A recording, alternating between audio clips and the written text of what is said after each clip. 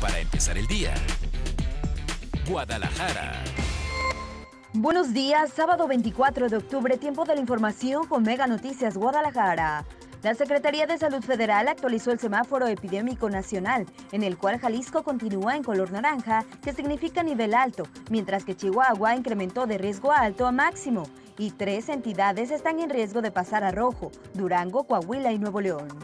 En los últimos 15 días, la Cruz Verde Delgadillo Araujo ha tenido un repunte de pacientes por COVID-19 internados en este puesto de socorro, ubicado a un costado del Parque Alcalde. A pesar del aumento, el director de los servicios médicos municipales, Miguel Ángel Andrade, indicó que la unidad médica está al 30% de capacidad. En la unidad de medicina familiar 171 del Instituto Mexicano del Seguro Social, la vacuna contra la influenza se encuentra de manera intermitente.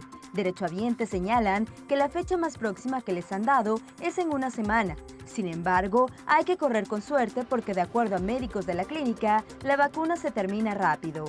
Con el objetivo de apoyar a la reactivación económica y social del Estado, ese viernes arrancó el programa Todos Reactivamos Jalisco, una iniciativa del sector privado y la sociedad civil organizada que buscará la recuperación desde el sector agroalimentario.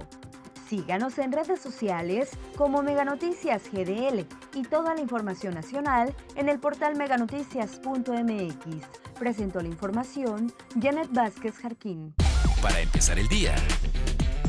Guadalajara.